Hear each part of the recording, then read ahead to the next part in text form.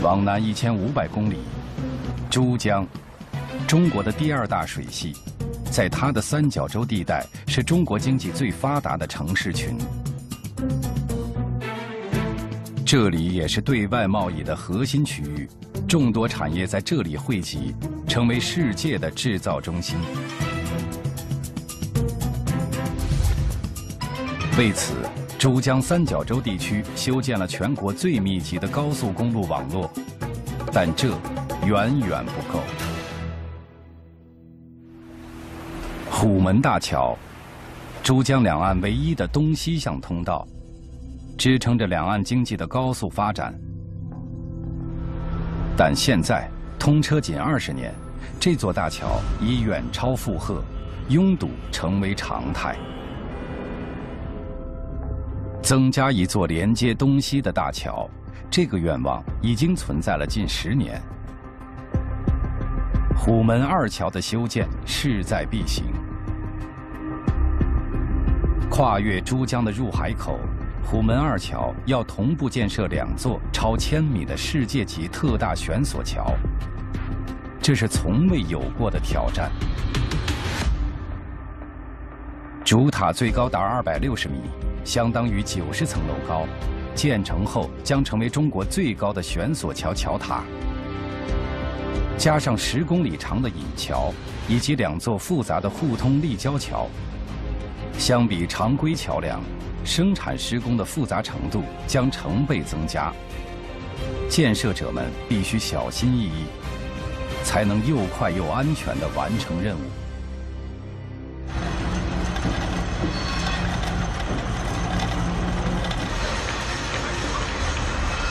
为了在最短时间内完成这八个巨大锁塔的建造，工程师采用整体液压自爬模板体系，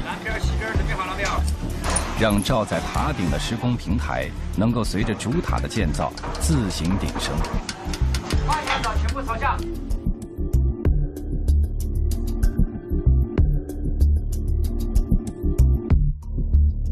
好好好，北边、东边到位，可以进油。四个小时后，一次流畅的整体爬升工作顺利完成。另一边，在衔接两座主跨的中心岛上，截断梁预制工厂也在紧张的施工中。在这里，要完成五十多种类型。共三千五百多品截断梁的生产和拼装，最大的梁段一个的重量就相当于一百二十辆小轿车。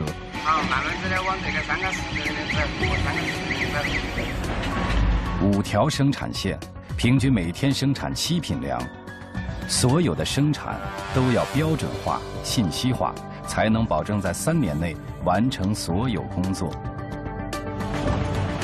虽然。这座大桥工期长达五年，但每一项工作都将以小时来计算。工程师们正想尽一切办法，让这座大桥早日通车，扩充珠江两岸的流通能力。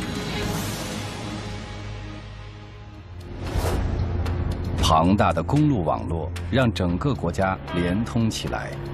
今天的中国，汽车保有量全球排名第二。与一九九零年的数据相比，翻了三百一十倍。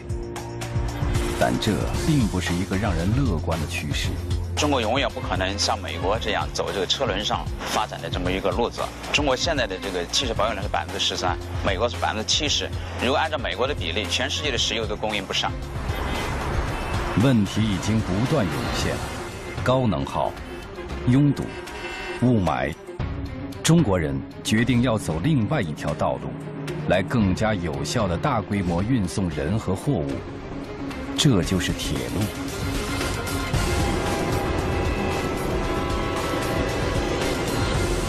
一个十二万公里的网络建立起来，已占世界铁路百分之七的营业里程，完成了百分之二十五的运量。特别对于大宗货物运输来说，铁路的优势更加明显。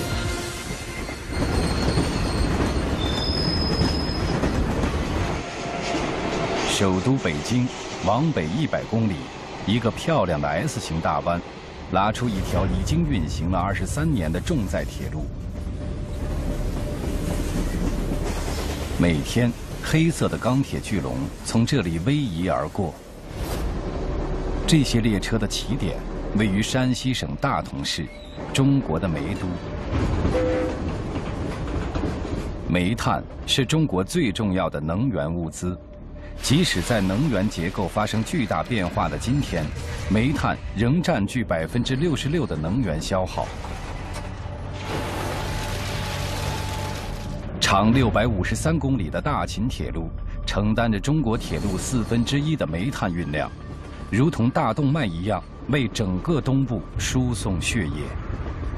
大秦线是中国铁路的西煤东用的专用通道。二零零二年，它的设计能力是达到了一亿吨，在经过多次改造以后，在二零一零年达到了四亿吨的目标任务。要在一条线路上完成如此大的运量。需要尽最大可能增加每列车的运载能力。在大秦铁路，最常用的是两万吨的重载机车。一列车运送的煤炭，如果用载重五吨的汽车来装，需要四千辆。幺二三零，幺二三零排队，来到好了。蜿蜒的重载机车将煤炭源源不断送往东部的秦皇岛，在这里装上货轮，完成西煤东运的任务。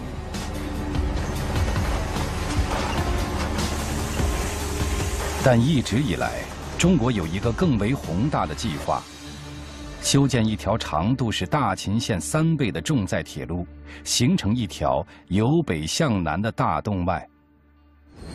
这是一个全新的挑战。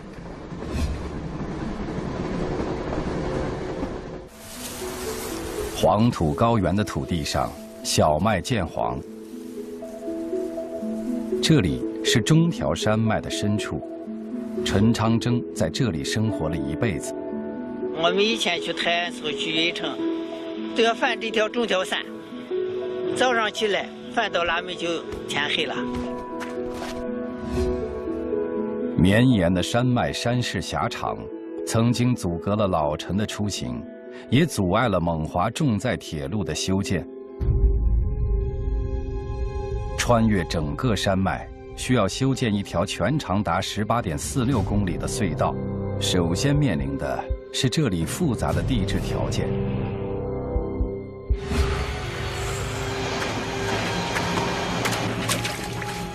这个隧道呢？是全县最难的一个隧道，水特别大。目前来说，一天涌水量是一万一千方。兄弟们都叫它水帘洞，大家就说是下瓢泼大雨，然后下面彩淋淋的道路。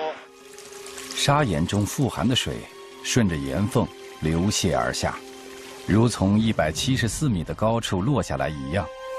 如果处理不好，造成突涌，瞬间就能埋掉半条隧道。目前它的水。